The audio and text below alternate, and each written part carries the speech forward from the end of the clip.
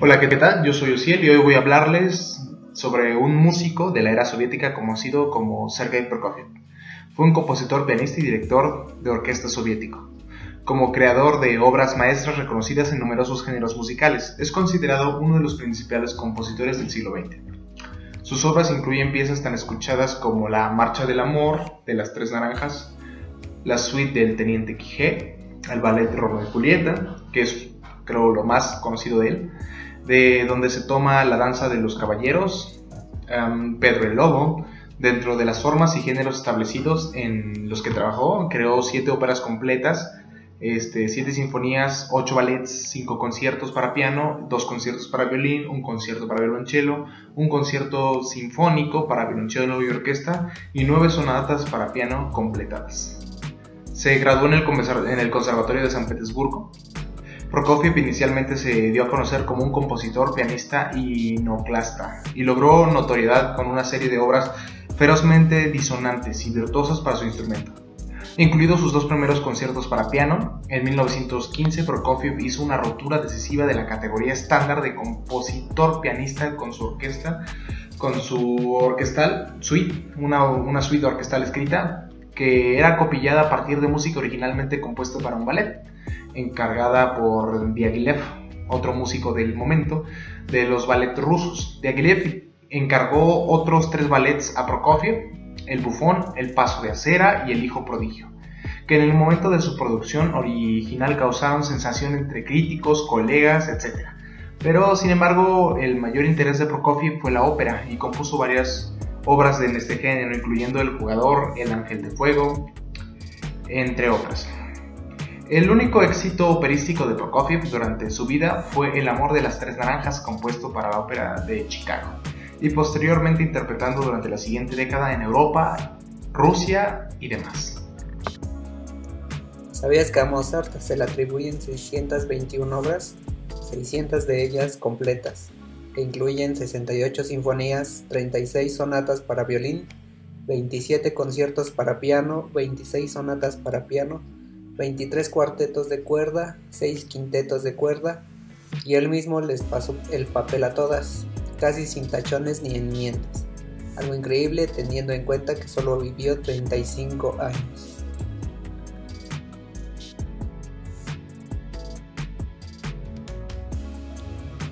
José Arcadio Limón, un bailarín que dejó un gran legado en la danza moderna en México. Al grado que en Sinaloa, su estado natal, se organiza un festival de danza en su honor cada año. En su trayectoria artística se incluye la apertura de su propia compañía de danza en Nueva York en 1946 y posteriormente en 1969 su propia fundación, José Limón Dance Foundation, así como su paso por Juilliard, una de las escuelas más prestigiosas de arte. Un dato curioso de Vivaldi es que se le conocía como el preto rosso. Esto porque tenía el pelo color rojo y era cura. ¿Qué tal chicos? Soy Jesús Cuevas, espero y estén bien. El día de hoy me gustaría platicarles un poco sobre el compositor mexicano Silvestre Revueltas. Nace el 31 de diciembre de 1899 en el estado de Durango, México. En 1906 comienza sus estudios de violín al año siguiente ya había formado una banda de niños y por ahí comentan las historias que les pagaba a los músicos con dulces.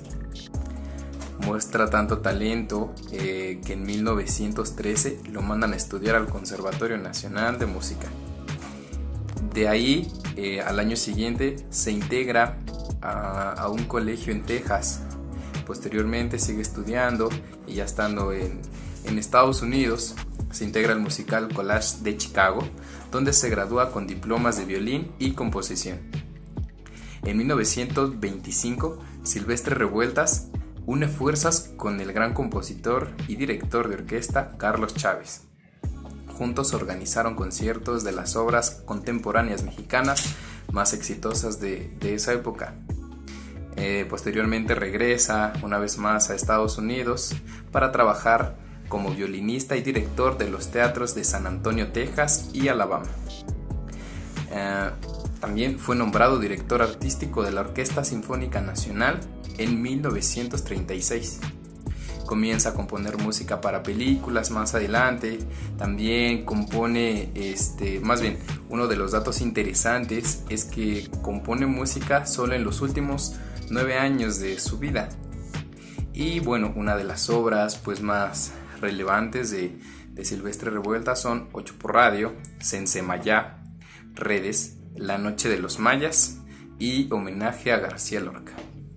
Esta entre algunas otras obras más que compuso, pero son una de las más relevantes. Nos vemos pronto, espero y les haya gustado. Saludos.